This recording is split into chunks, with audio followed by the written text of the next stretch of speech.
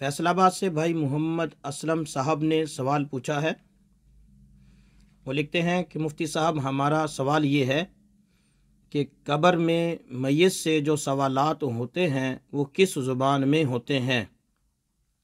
अगर अरबी ज़ुबान में होते हैं तो हमें तो अरबी ज़ुबान आती नहीं। वाज फरमा दें, मोहम्मद असलम।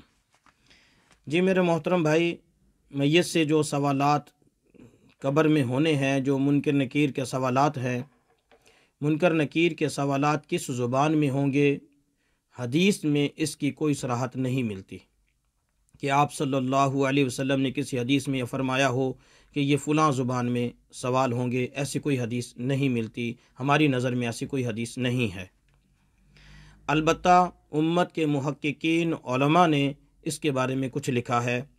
बाज़ ने सुरयानी ज़ुबान के बारे में लिखा है कि ये सवालात सुरयानी ज़ुबान में होंगे।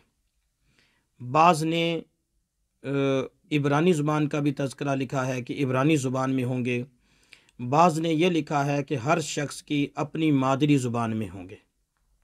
जो शख्स दुनिया में जो ज़ुबान बोलता था, ये सवालात उसी ज़ुबान में उसे किए जाएँगे।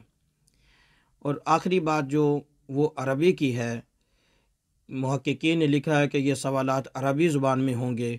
हर शख्स से आपका दूसरा सवाल जो कि अरबी हम जानते नहीं, इसका जवाब मैं बाद में अर्ज़ करता हूँ। पहले इस जो जो ये रिवायत है, जो महक्कीन ने जो लिखा है कि ये सवालात, सवाल व जवाब जो है वह अरबी ज़ुबान में होंगे, ये करीन क्यास मालूम होता है। ये सबसे दुरुस्त मालूम होता है।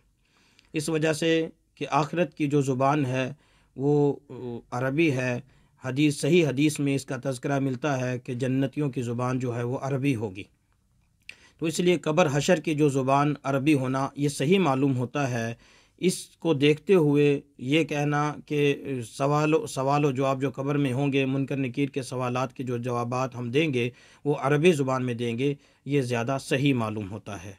रही आप, रहा रहा आपका ये सवाल, आपकी ये जो बात है कि हम तो अरबी जानते नहीं तो बिल्कुल बेशक हम अरबी नहीं जानते, हमारी जो मादरी ज़ुबान अरबी नहीं है, लेकिन ये अल्लाह की तरफ़ से ऐसा होगा कि जो बंदा मरेगा, जिस ज़ुबान में उसने सवालों का जवाब देना है, वो उस ज़ुबान का जानने वाला बन जाएगा। तो ये तो अल्लाह के लिए कोई मुश्किल नहीं, ये जिस ज़ुबान में सवालत होंगे, हमें वो ज़ुबान आती होगी।